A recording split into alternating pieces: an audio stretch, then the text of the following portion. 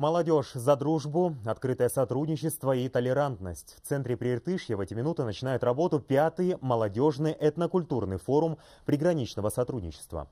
Представители поколения Next из разных стран собрались в Павлодаре, чтобы обсудить новые перспективы и горизонты сотрудничества. Юбилейный форум организаторы посвятили году Ассамблеи народа Казахстана. И сейчас из Павлодара на прямой связи с нами мой коллега Салуат Тимирбулатула. Салуат, добрый день. Расскажите подробнее о программе форума.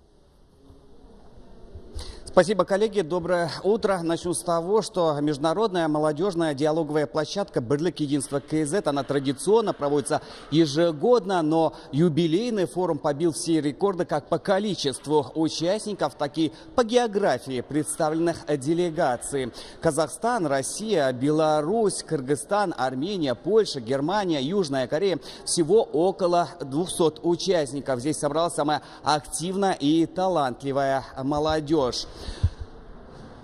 Программа форума очень насыщенная. Сегодня рано с утра ребята возложили цветы к обелиску славы. Всего из Павлодарского Прииртышья по последним уточненным данным на фронт ушли свыше 46 тысяч человек. Из них больше половины не вернулись.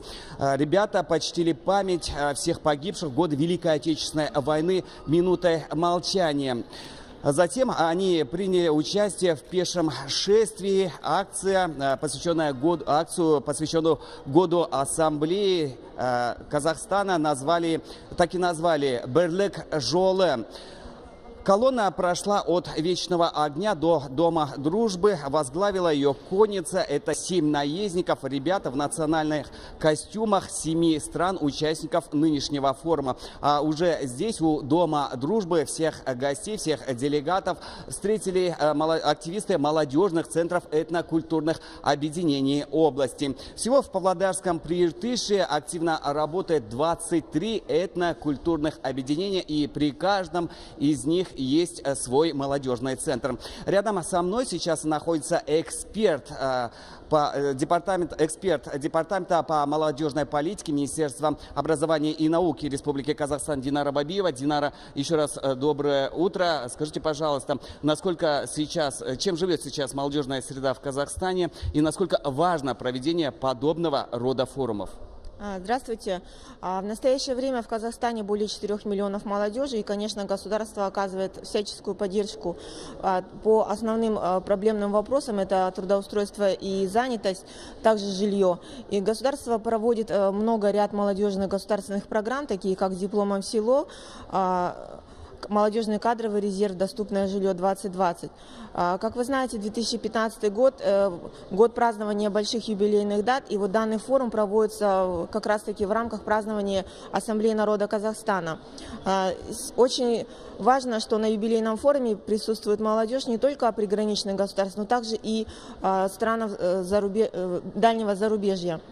А, самой главной целью сегодняшнего форума является, конечно же, международное сотрудничество, чтобы наша молодежь могла показать себя на высоком уровне не только в нашей республике, но также и среди стран а, нашего СНГ. Каких конкретных результатов ждете сегодняшнего форума?